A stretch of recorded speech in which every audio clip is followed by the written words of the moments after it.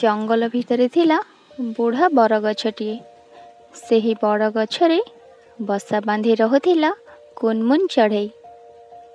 ଦେଖିବାକୁ ସେ ଖୁବ୍ ସୁନ୍ଦର ଥିଲା ସକାଳୁ ସକାଳୁ ସେ ଚରାବୁଲା କରିବାକୁ ବାହାରିଯାଏ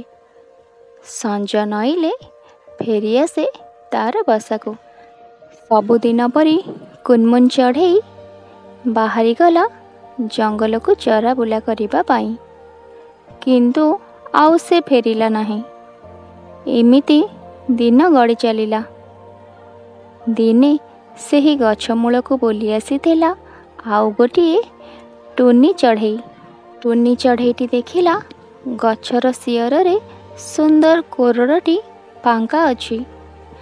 ସେ କୋରଡ଼ ଭିତରେ ରହିବା ପାଇଁ ମନ ବଳାଇଲା ସେହି ଦିନଠାରୁ ଟୁନି ଚଢ଼େଇଟି କୁନମୁନ ବସାରେ ଘର କରି ରହିଲା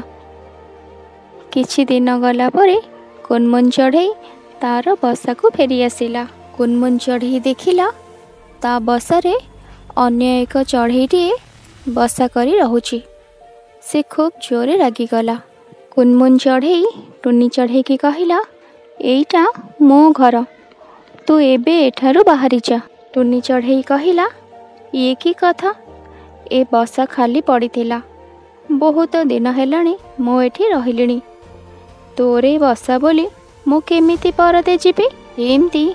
दुईजना भित्र खुब पाटितुड लागसको कथा छिन्डिला जे न्यायवान लोक पाखक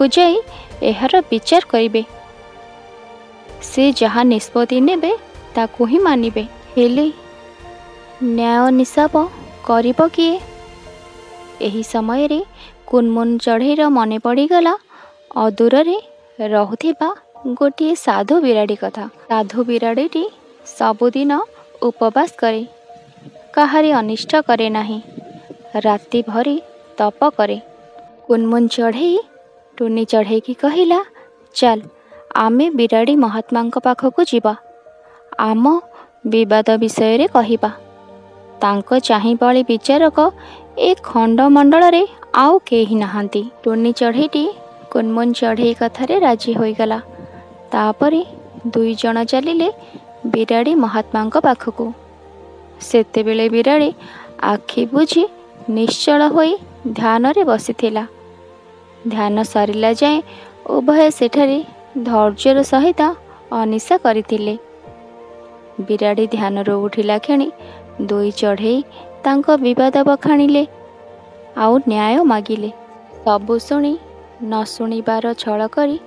ବିରାଡ଼ି ମହାତ୍ମା କହିଲା ବୁଢ଼ା ବୟସରେ ମୋର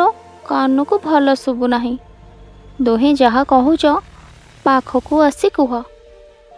ଘଟଣାଟା ବିଷୟରେ ନ ଜାଣିଲେ ମୁଁ ନ୍ୟାୟ କିପରି କରିବି ଚଢ଼େଇ ଦୁଇ ଜଣ ନିର୍ଭୟରେ ବିରାଡ଼ି ପାଖକୁ ଚାଲିଗଲେ ପାଜି ବିରାଡ଼ି सुजगको अपेक्षा गरि आउसे डेरी नक आखि पिछुके दुहीको उप झाम्पि पडिला गोटिक परी गोट चढैको खाइ पेट फुलाई आरामे निघट निदर सोई पडिला